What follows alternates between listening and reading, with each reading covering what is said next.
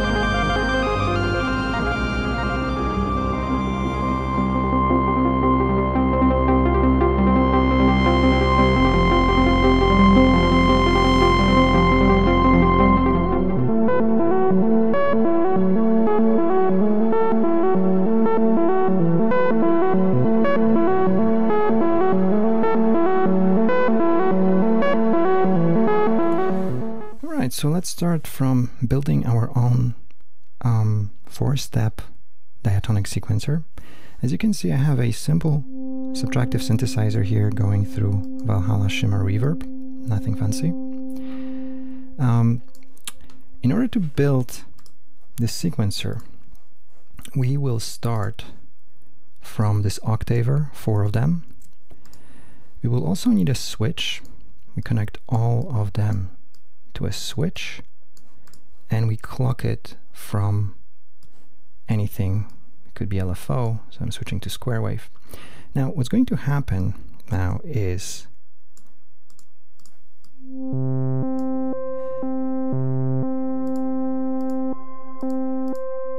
as you can see, I already have a sequencer here, but the problem is the smallest interval you get is one octave. So we need to shrink those intervals and it's fairly trivial with VCA. Um, you just need to divide 100 by 7 because I want to have a heptatonic scale and it will be around 14.28. As you can hear, it's not yet equal temperament um, and you can quickly fix it with a quantizer. And I'm trying to stay here with pure vanilla uh, modules so I'm using this really awkward uh, quantizer. Um, for those of you who are not familiar, um, just remember it's upside down. So if this is my C, uh, this will be my D, E flat, um, G, A flat, B flat, and I have a minor scale.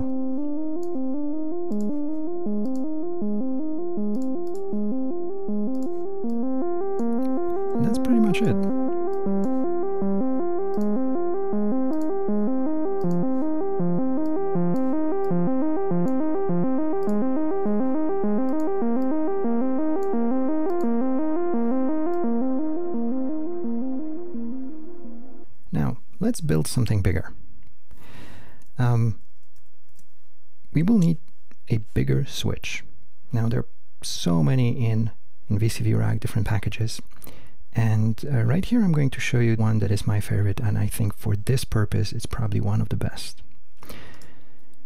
The package is called 23 volts and the module is called switch N1. Now it's very easy to miss because it's such a small module. It's very compact, but believe it or not, it's actually a switch that allows you to have up to 16 inputs. So the way you set this up is in vanilla VC, I mean, you can use any any merge uh, from that different packages. I'm just trying to stay with vanilla as much as possible. Um, so now I'm merging these five steps into polyphonic cable. I'm connecting this polyphonic cable over here. I'm going to grab a clock and I'm going to connect it over here and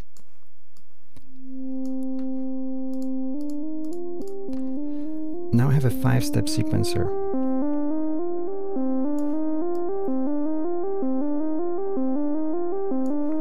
Now here's the, the, the absolutely amazing part and, and, my favorite thing about this um, sequencer. Let me actually uh, move this over here because we will need more space. We want to build a 16 step sequencer. This switch detects size of the polyphony here, which means if we want to add another step, it's that simple.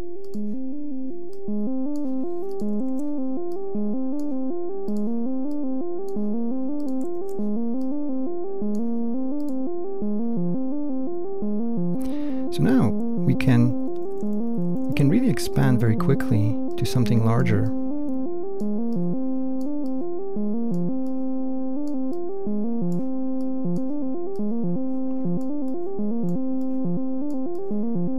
And I think this will give us 16 steps.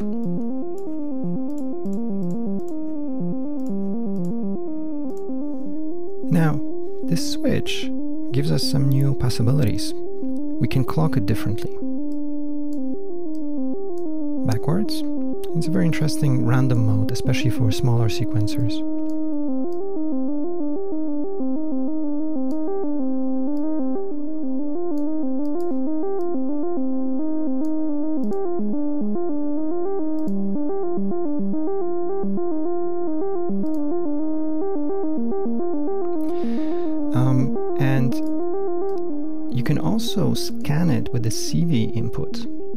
So let's take a simple saw wave here. Now this is something that we could achieve with, with regular clock. However, if we switch it to triangle wave, we have a pendulum mode.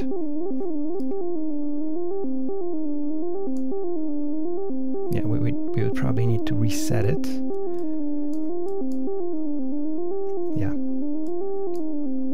So it's pendulum mode now, uh, and this pendulum mode could be also uh, have could also have an extra timing warp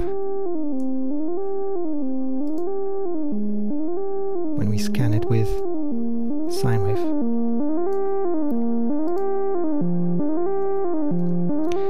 Um, and if you take this concept further, even with a simple saw wave, what you could do here is um, put a VCA, there's a little trick here.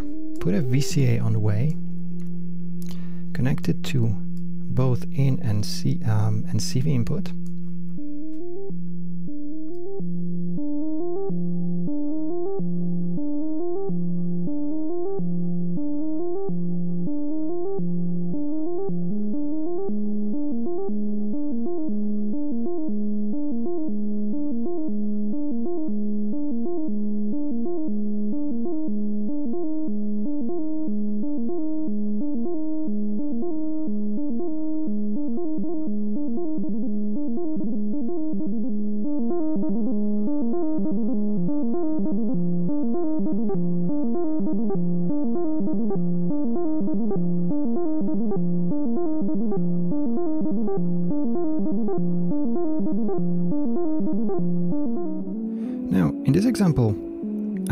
Second voice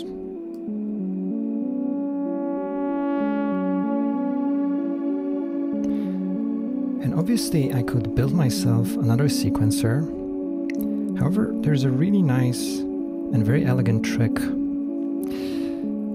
I don't need another sequencer, I just need another switch with the same sequence. I'm gonna clock I'm to clock it backwards actually and listen to what happens.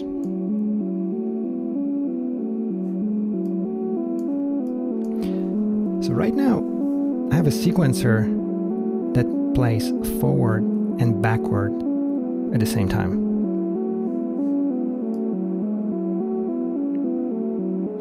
Furthermore, maybe I could experiment with having one of them playing random notes.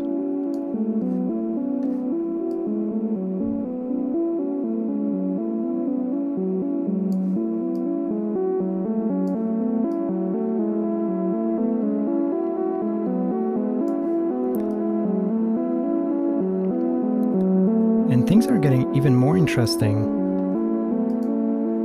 if I clock one of them differently.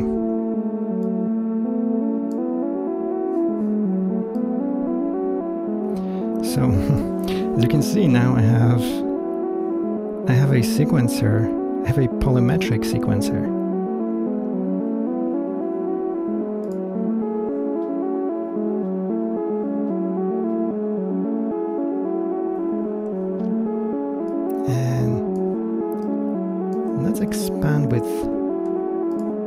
This note. And let's also expand maybe some of these. Let's go lower.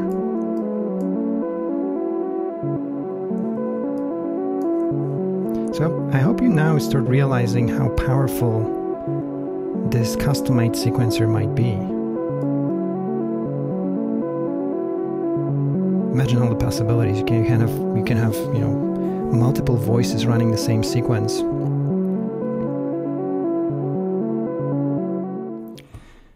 Another example. Here I have a simple sequence, eight step sequence, and I'm going to get bored with it very quickly. So let's randomize it. In Vanilla VCV, you can find a module called random. It's a sample and hold. You can use any sample and hold module. I'm going to clock it with the same clock. And I'll decide which steps are supposed to be randomized in the sequence.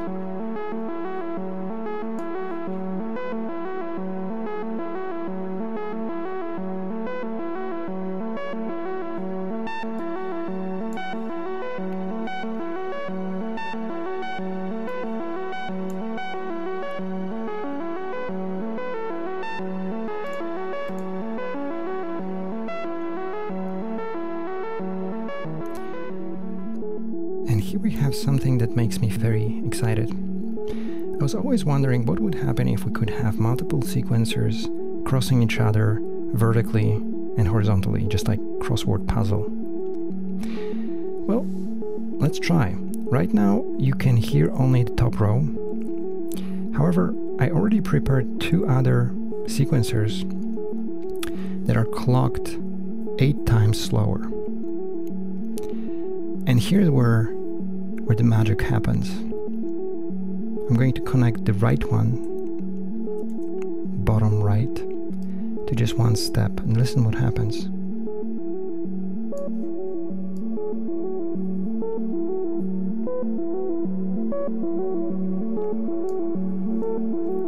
Now the, the left one is five steps. Let's connect it to the first note of the sequence.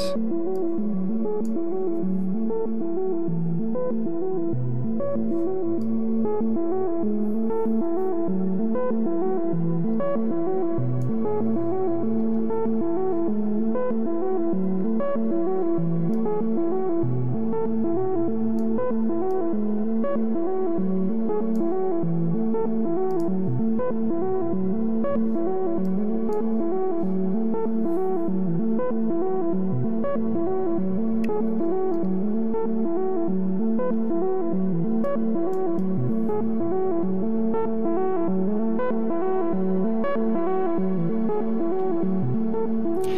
now we can go on one step further and see, well, let's see what will happen if we don't actually have eight step sequence here. Let's take out one of those steps.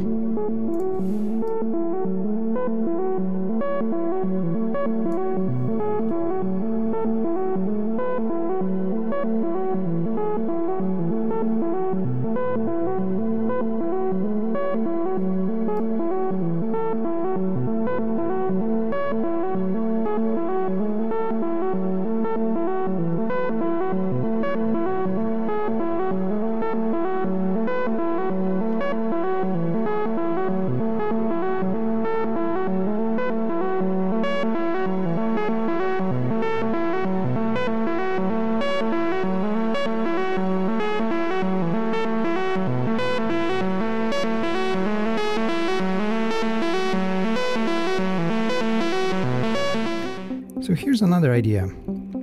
I have a simple sequence run for fun in um, polymetric mode, so we tried that before. However, this time we have two more voices. Second row. One is bass. And we can connect, we can link that bass note with the first step of our sequence, like this.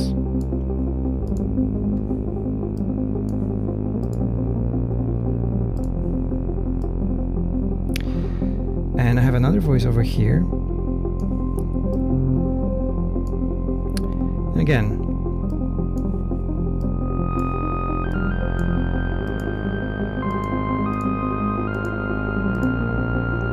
linked to one of the steps